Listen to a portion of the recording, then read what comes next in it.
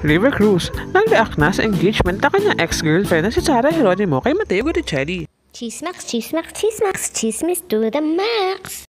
Like and subscribe na. Welcome back mga ka-chismax.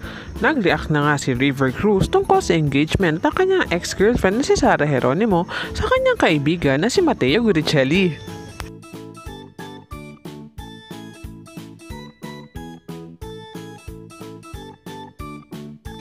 Ayon sa mga balita, si River Cruz di umano ang unang boyfriend ni Sarah Geronimo.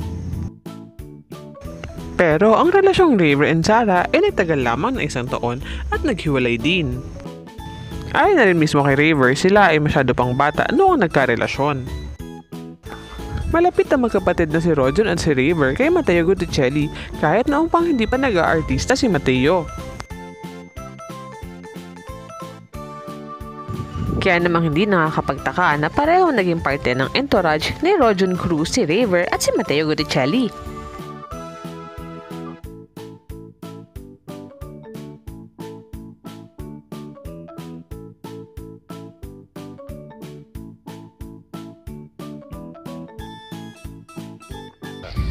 I'm with this handsome people, you know.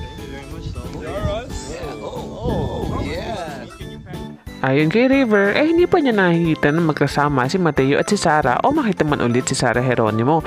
Pero kung dumating daw ang pagkakataon na makita niya si Sarah, ay babatiin niya ito. Ayon pa kay River, eh wala na daw issue sa kanila ni Mateo ang kanilang nakaraan ni Sarah dahil sila ay bata pa daw noon at matagal nang nangyari. Si River din ngayon ay masaya na sa kanyang relasyon kay Janine Gutierrez.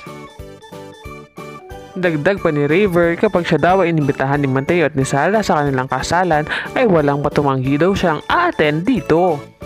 Nakakatawa ang mga solid na samahan sa showbiz. Thanks for watching mga chismax!